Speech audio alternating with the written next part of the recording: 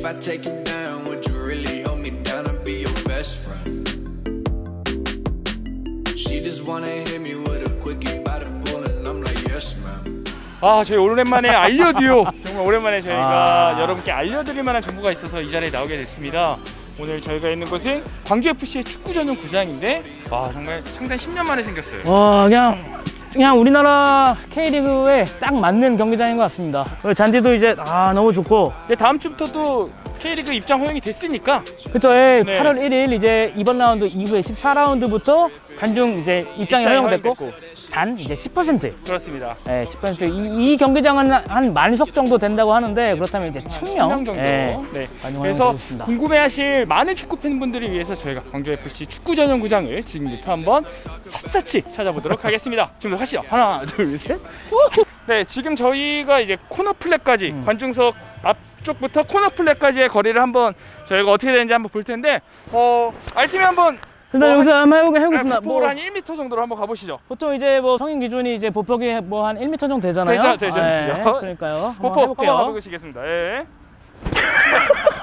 하나, 둘, 셋, 넷, 다섯, 여섯, 일곱, 여덟, 여덟 판. 반. 와, 여덟 판. 그래서 이 코너 플랫부터 관중석까지 여덟 판이면 아마 뭐한 7m, 6m, 7m, 예, 6m 정도 될 선수들이 것 같고. 욕을 할 수가 없다. 아마 욕을 해도 열정으로 받아들여야죠. 아, 열정으로 받아들인다.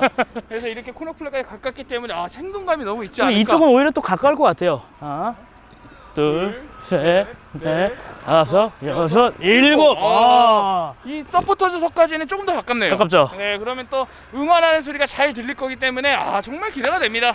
선수들과의 호흡하는 것들을 볼 수 있기 때문에 이런 것들이 축구 전용 구장의 매력이지 않나. 아, 원래 너무 보조. 경기장의 이런 육상 트랙을 예. 이제 또 없애고 이제 관중석으로 활용한 광주 FC의 축구 전용 네, 구장입니다. 근데 사실 이 육상 트랙이 왜 이렇게 남아 있냐? 진짜 말로만 축구 전용 음. 구장이다 이런 말들도 있는데 주어진 이제 한정된 예산에서 아, 그쵸. 최대한 활용을 하기 위해서 가장 좋은 방법을 그래도 뽑아낸 게 음. 아닌가 현실적으로 부지도 따로 마련하지 않아도 되는 되는, 예, 그런 네. 상황 제한된 조건에서 그렇습니다. 최대한 이제 아이디어를 내서 예, 했기 때문에 이제 관중들이 좀 가득 차고 하면은 아, 예. 분명히. 예, 분명히 뭔가 이제 느낌이 날 것 같습니다. 그렇습니다. 자, 한번 코너킥 한번 차시죠.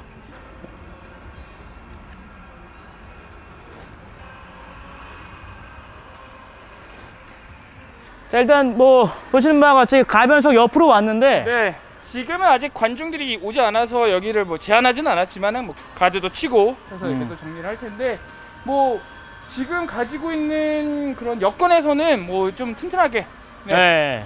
제작이 되어서 여러분들 보시는 데는 큰 뭐 지장이 없을 것 같습니다. 자, 일단 한번 올라가서 관중 입장에서 그렇죠. 한번 보는 게 얼마나, 얼마나 이제 좋은 예, 그걸 한번 봐야 될 것 같습니다. 와, 아니, 뭐 이제- 진짜 아깝네. 왼발이 다녔던 이으뜸 선수가 여기서 이제 코너킥을 찬다면은 또또 광- 광... 펠리페가 골 넣는 거 아닙니까? 그렇죠. 또 광주 팬들 입장에서는 저 으뜸이 형 화이팅! 아, 또 이런 거를 할 수 있으니까. 예, 그런 부분에서는 이제 굉장한 선수들이 또 힘을 받을 것 같습니다. 이 정도 거리면은 진짜 선수들의 호흡 소리 이런 거 들으면 더 축구가 재밌을 것 같아요. 사실 뭐 커뮤니티나 팬들의 의견을 보자면 네. 지금 뭐 지붕이 없다. 네, 네. 그래서 너무 뜨거운 거 아니냐 여름에. 우리 지붕이 지금 저 본부석 쪽만 이렇게 네. 있다는 게 조금 아쉽긴 한데 우리 현실적으로 봤을 때 여름에 이제 야간 경기 할 거고 그렇죠. 비올 때는 어떠냐?